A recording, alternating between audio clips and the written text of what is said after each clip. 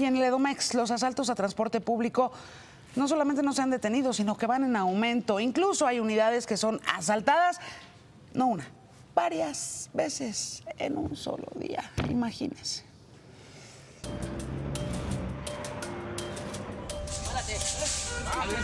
Hay que subirla. Dos o tres veces al día. Hemos tenido casos en que la misma unidad en un mismo día ha sido asaltada tres veces. Aunque cuentan con botones de pánico, cámaras y GPS, no se han podido frenar los asaltos a unidades de transporte público de pasajeros. El equipo al cual nos eh, obliga la autoridad para prestar el servicio es un botón de pánico, son dos cámaras y un GPS.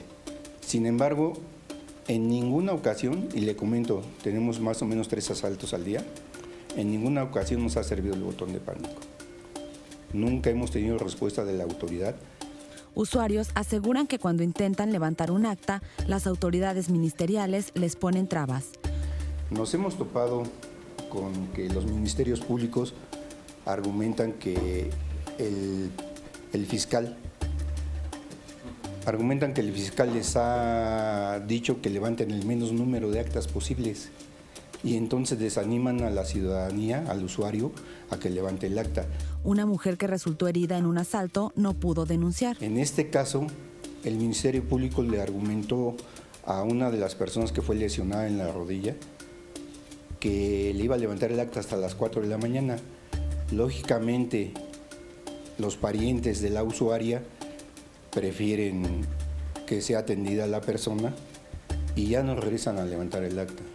La línea STM a la que pertenece la combi que fue asaltada y sus delincuentes detenidos durante un operativo corre de Villa de las Flores a Metro Moctezuma en Ecatepec. Operadores aseguran que durante el trayecto desde la vía López Portillo, Morelos, Ciudad Azteca y la Avenida Central son asaltados. Afirman que los botones nunca les han ayudado. Argumentan que no, en la Secretaría que no tienen la capacidad de atender todas las llamadas de, ese botón de pánico. Eh, las cámaras eh, eh, se hacen, las colocan las empresas con monitoreo de 30 minutos máximo al día en vivo. Se pagan alrededor de 700 pesos por ese monitoreo mensual. Por lo que tienen que protegerse ante la ola de asaltos que se registran para imagen con información de María de Los Ángeles Velasco.